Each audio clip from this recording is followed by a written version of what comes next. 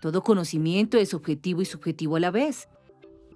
Es decir, que corresponde en mayor o menor medida a la realidad de donde se obtuvo, pero está impregnado de elementos subjetivos que intervienen en el acto cognoscitivo, como la preparación y el lugar en el que se encuentra el observador, los hábitos de la observación, la capacidad de atención, las deficiencias de los órganos sensoriales, la capacidad del cerebro humano, las condiciones del sistema nervioso, los prejuicios, la cultura, la sociedad,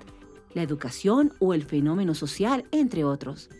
que pueden limitar o facilitar el descubrimiento de la realidad objetiva, la cual, como ya se ha dicho, existe independientemente de nuestra conciencia y conocimientos.